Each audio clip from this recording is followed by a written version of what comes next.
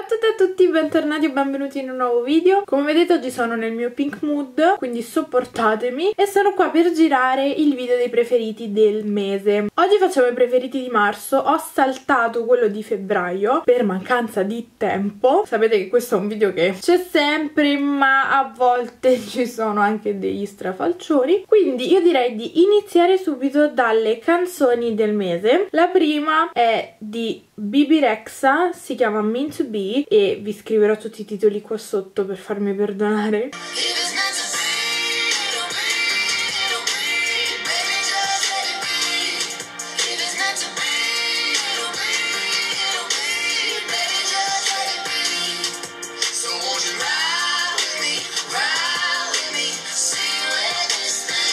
Mi piace un sacco perché ha tipo un sound mezzo country, quindi adoro. Altra canzone è del film, l'ultimo, di 50 sfumature, ed è di Hailey Steinfeld. Ve la nomino praticamente un mese sì, un mese no, perché sforna delle canzoni una più bella dell'altra. All'inizio quando ho sentito questa canzone non mi piaceva, non so il motivo, però poi riascoltandola, riascoltandola, riascoltandola fino allo svenimento, ho detto basta, è fantastica.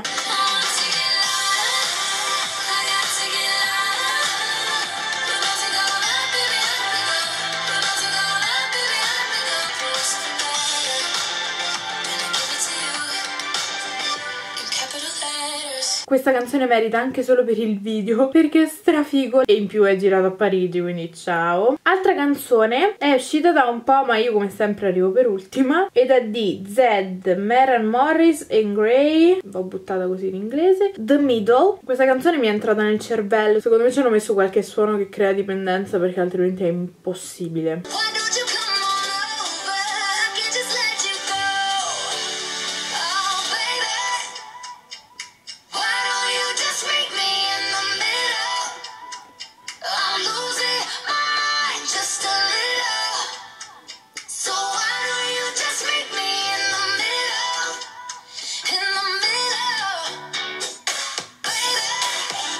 E poi continua così per tutto il ritornello ma è meravigliosa altro punto film barra telefilm del mese. Allora qui devo recuperare un po' sicuramente ve ne dico anche qualcuno di febbraio così appunto ci partiamo avanti. Anche perché ok che non ho tempo ma per i film e le serie qualcosa trovo sempre, anche se le serie le ho un po' tralasciate, sto riprendendo ultimamente perché ho meno roba da fare. Per quanto riguarda i film, da quale inizio? Questa è la domanda. Ho visto Black Panther, che è l'ultimo della Marvel che è uscito, che poi riprenderà anche l'ultimo film degli Avengers che sto aspettando, non vedo l'ora. Mi è piaciuto, sicuramente mi aspettavo di meglio, ultimamente non c'è nessun film che mi sta stia prendendo proprio da dire oh mio dio ce n'è uno però che vi indicherò nel mese prossimo perché l'ho visto qua ad aprile quindi non ve lo posso dire. Però appunto Black Panther poi abbiamo The Shape of Water. Pazzesco pazzesco. Se vi piacciono le storie con un fondo romantico anche leggermente science vedetelo. È un po' particolare nel senso non è la classica storia romantica non vi aspettate quello però mi è piaciuto molto. Poi ho visto Ruby Red che è una trilogia sì ce ne sono tre ed è Ruby Red Ruby Red il segreto di Zaffiro e poi poi c'è Ruby Red e il verde smeraldo. Carino, leggero, teenager. Poi ho visto Red Sparrow. Allora questo mi è piaciuto molto. È molto crudo come genere di film quindi se non avete lo stomaco forte ma in generale non perché si vedono scene splatter ma proprio come argomentazioni vi consiglio anche no. Io sono andata a vederlo da sola perché questo è un film appunto pesantino quindi volevo capirlo bene. E ne ho parlato anche con i miei anche con delle mie amiche e miei amici che sono andati a vederlo. E non tutti sono arrivati nel profondo del film. Cioè non è soltanto lei che fa questo tipo di lavoro ma c'è molto di più. Però se adesso vi metto a spiegare qua vi spoilerò tutto quindi se lo avete capito fatemelo sapere nei commenti. Voglio capire cosa avete capito di questo film perché magari ci sono anche più di un'interpretazione. Poi ho visto Crazy Night Festa col morto raga pazzesco. Straconsiglio se avete una serata con le amiche volete vedere una cosettina leggera per ridere. Poi ho visto alla ricerca di Dori. Non l'avevo visto. Cioè ho visto la ricerca di Nemo ma non la ricerca di Dori. Dieci anni dopo quanto, quanto tempo è passato non lo so. Strabello mi è piaciuto un sacco. Non mi ha preso da subito. Cioè all'inizio ero tipo un po' disorientata però è carino. Cioè e dai, su, è il continuo della ricerca di Nemo, era da vedere per forza. E ultimo, se no poi qua non finiamo più, ho visto Pompei. Pompei è un film in realtà che è uscito 4 anni fa, nel 2014, e mi è stato consigliato da voi perché io adoro questo genere di film, con un fondo storico, storie d'amore, e questo qui parla appunto di Pompei, non ve lo dire, però contiene anche questa storia d'amore.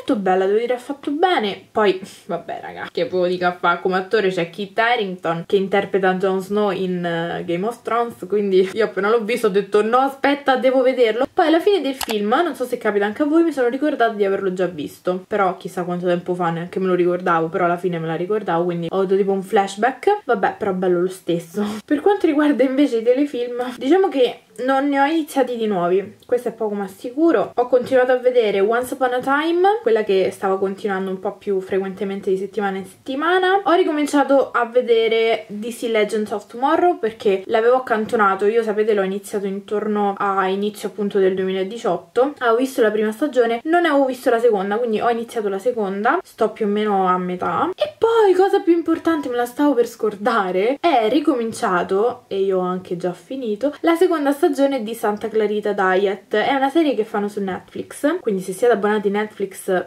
approfittatene perché è una serie geniale, fuori dal normale, molto particolare e allo stesso tempo anche molto comica, molto ironica. È molto leggera, tranquillissima, potete guardarla, non fa impressione per niente anche se tratta argomenti un po' particolari, ripeto, non so che altro aggettivo trovare, quindi vedetela assolutamente, poi fatemi sapere. Poi, scarpe del mese, qui è ardua la scelta perché ne ho usate un paio nello specifico, ma anche un altro. Quindi che faccio? Facciamo che vi faccio vedere il paio 1, che sono queste qui, sono le Stan Smith bold quindi con il, il, doppio fondo un po' più alto di, di, quelle normali e sono quelle rose gold mi piacciono un sacco perché vanno su un sacco di outfit diversi sono stracomode essendo che hanno questo fondo un po' più alto non fanno male dopo un po' e queste sono un acquisto recente ma che ho subito messo tantissimo. Lo so sembra che io abbia una fettona ma effettivamente ce l'ho perché porto il 40 e con le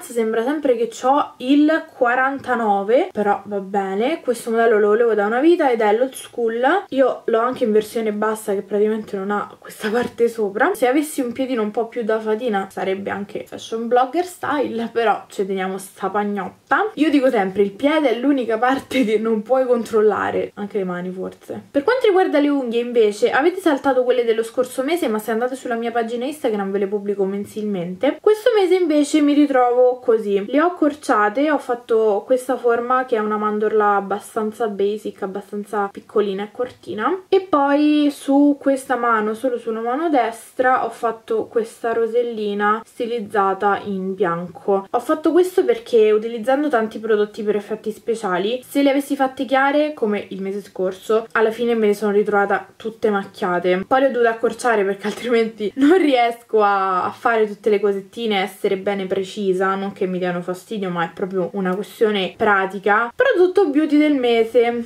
Qui ne abbiamo un po' devo dire che però allo stesso tempo non è che io mi sia truccata tantissimo, mi trucco per girare i video o lì in accademia mi truccano e mi struccano. Però essendomi truccata poco sono andata sui miei soliti must have che vi ripeto. Fondotinta Fenty Beauty di Rihanna, il fondotinta è il Pro Filter e io utilizzo il colore 140. Adesso uscirà la linea, anzi domani uscirà la linea, oggi è 5, domani è 6 quindi pronti tutti da Sephora. Sono molto contenta perché potrò finalmente ricomprarlo senza pagare 10 euro di spese di spedizione. E se volete provare un fondotinta valido per pelli miste grasse questo è il fondotinta, anzi sarà il fondotinta della vostra vita. Provare per credere, io mi sono trovata benissimo da subito. È uno di quei fondotinta che io potrei anche non fissare e io ho la pelle mista. Altro prodotto must have che ho ritrovato in questi giorni è questo correttore qui, l'anti-aging di Maybelline. Io utilizzo la colorazione light. Purtroppo questo correttore l'unico difetto che ha è che finisce subito. Ce l'ho, vabbè,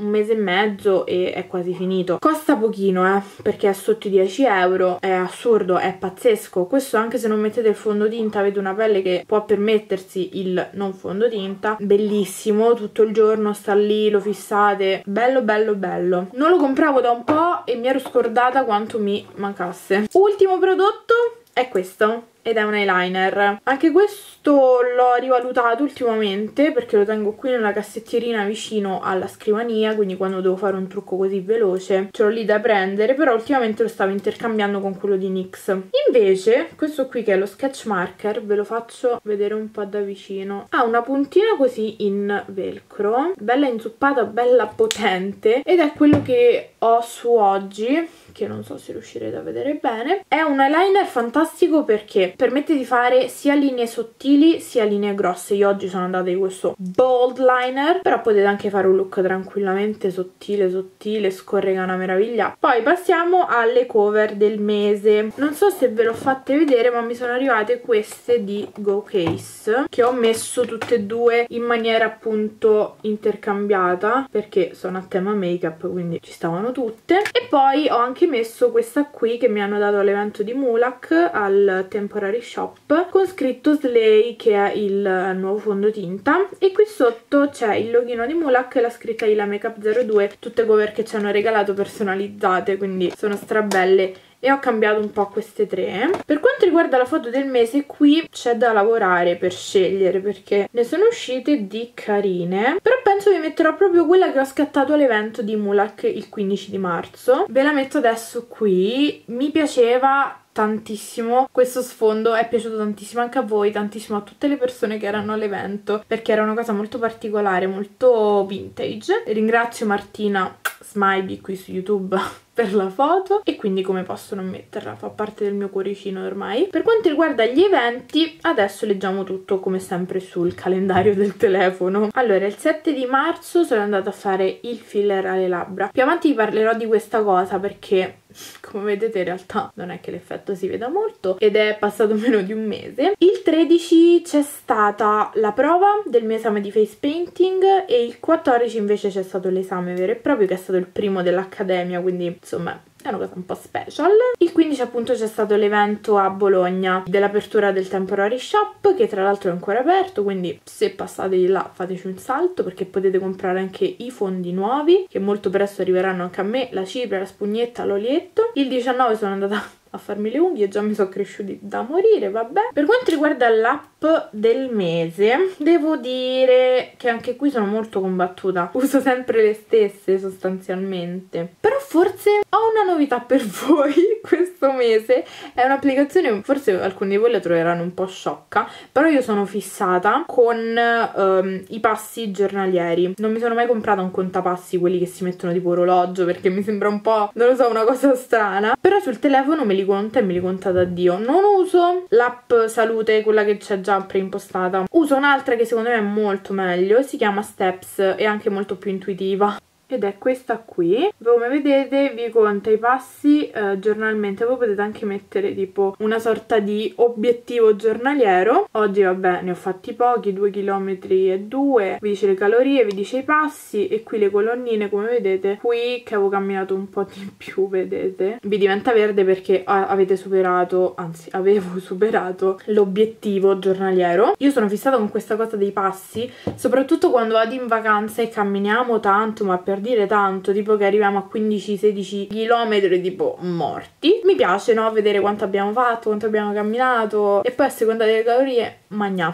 Quindi spero di avervi fatto conoscere questa nuova cosa anche a voi e spero questo video vi sia utile come sempre. Io mi diverto un sacco a girarlo ogni volta. Quindi, come sempre, domandina di questi video è se avete qualcosa da consigliare voi a me, che sia applicazione, trucchi, prodotti, qualsiasi cosa vi viene in mente, scrivetemi tutto qua sotto che io sono sempre stracuriosissima. Se il video vi è piaciuto lasciate un bel pollicino e iscrivetevi se ancora non lo siete. Io vi mando un grosso bacio e ci vediamo al prossimo video. Ciao!